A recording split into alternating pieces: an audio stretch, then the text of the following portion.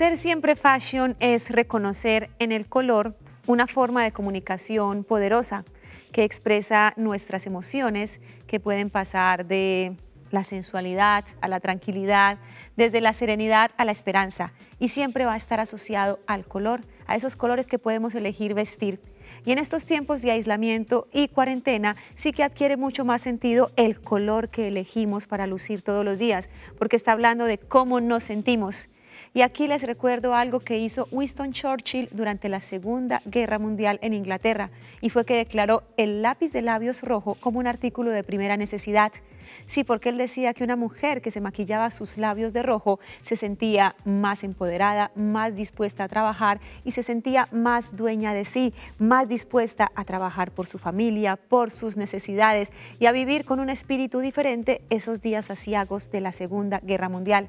Pues de eso precisamente quiero hablarles yo hoy, del poder del color y por eso me vestí con este verde, verde manzana que genera tranquilidad, que genera un espíritu más relajado y más tranquilo.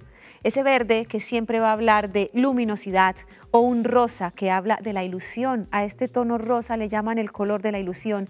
Y lo mejor de todo es que tú puedes elegir llevarlo en un vestido, en una camiseta, en un accesorio, en un pañuelo, el rojo intenso que siempre nos da poder, nos da seguridad, que identifica tanto a la Casa Valentino que siempre lo lleva en sus colecciones, o el naranja que está lleno de luz y de fuerza. Entonces ustedes pueden escoger todos los días un color para vestirse ustedes, para vestir a los niños, para elegir los aretes del día. ¿Cómo me quiero sentir hoy? ¿Qué necesito hoy? ¿Necesito fuerza o necesito tranquilidad?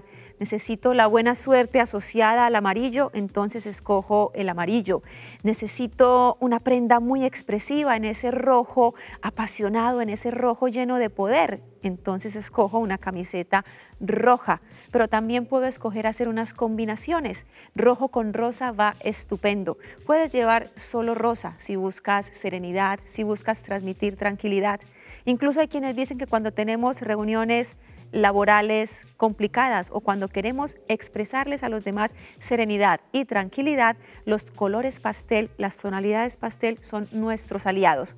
Entonces quisiera dejarles hoy estas palabras, que ustedes por favor, si van a elegir un atuendo hoy, lo elijan desde el color, desde lo que quieren comunicar.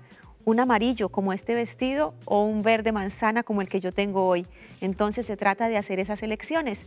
Y les quiero dejar un referente, les quiero compartir la propuesta de Blair Eddy. Blair vive en Nueva York, es una influencer de moda y gran parte de sus atuendos se identifican por este elemento, la composición cromática, la elección de colores muy llamativos, pero además una composición cromática inesperada.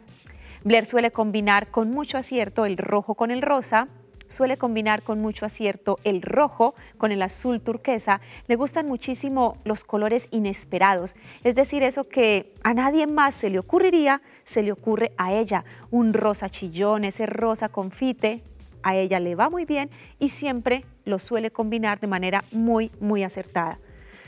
Y si ustedes quieren acertar al estilo de Blair, muy simple, escogen un color vibrante como el rojo, el rosa o el azul eléctrico o el naranja y lo combinan con un color neutro. En esa familia de los neutros están el negro, el khaki, el blanco o el azul oscuro, que siempre les van a combinar con todo. Pero no está de más que sigan una recomendación siempre fashion y es combinar dos colores vibrantes entre sí. Vamos a subir esa energía, vamos a irnos a mirar al closet qué tonalidades tenemos, cuáles de la línea tranquila de las tonalidades pastel y cuáles de la línea vibrante. Y vamos a empezar a armar unas combinaciones, porque de eso se trata, estar siempre fashion, de mirar nuestro closet con otros ojos y empezar a jugar con él. Hasta pronto.